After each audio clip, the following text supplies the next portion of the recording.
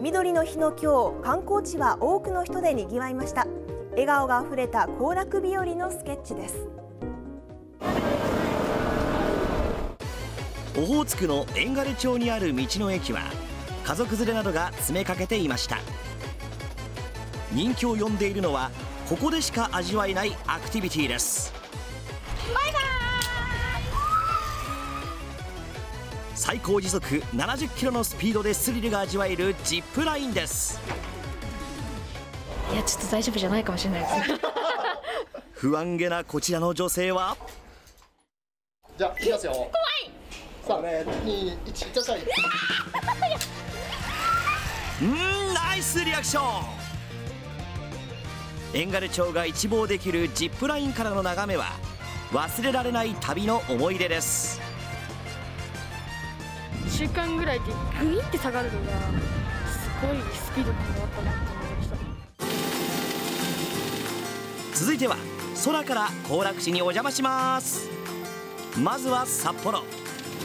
滝のすずらん丘陵公園の駐車場の様子です。9割ほど埋まっているといった状況です。多くの家族連れでにわっています。子供たちが元気いっぱいに飛び跳ねています。にぎわいを求め次に向かったのは？さまざまなアトラクションが楽しめるルフツリゾート。メリーゴーランドにも長い列ができています。多くのアトラクションに行列ができる中客が固唾を飲んで発車の瞬間を待っているのが人気の絶叫マシンです。見ているこっちも緊張します。うわ今すごいスピードで天に登っていきました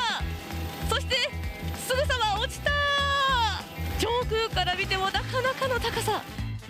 近くではこんな楽しみ方をする人も。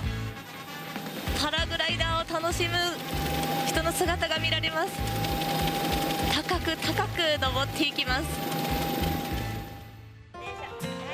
こちらは上川の美瑛町の人気観光スポット青い池。もう服も今日ちゃんと寄せてきてるんで。LINE のトップ画にし LINE の動画に神秘的な色合いを見せる池を背景に道内外から写真を撮りに来る人が集まります。前から来たかったんです。10年前から言っててやっと来れたんです。綺麗です。青くて。はい。もう本当にびっくりしてます。こんなに来てくれるのかな。あのその前がもう去年お年はガラガラだったんで。今は雪解け水の影響で池の色がやや緑がかっていますがもう少しすると綺麗なスカイブルーになるということです。あそこでの展示展示物とかをちょっと見たいな。みたいな。ちょっと船酔いするので。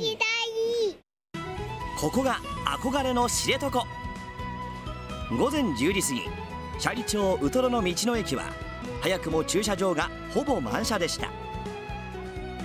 道東の道の駅どこもびっちりでびっくりしましたウトロ漁港に戻ってきた観光船には知床の大自然に心を動かされた多くの観光客が乗っていました。私は2回目なんですけど、まあ、ちょっと彼女と一緒に行きたいなと思いましたので。北海道にしかない景色をたくさん見せてもらえてすごい楽しかったです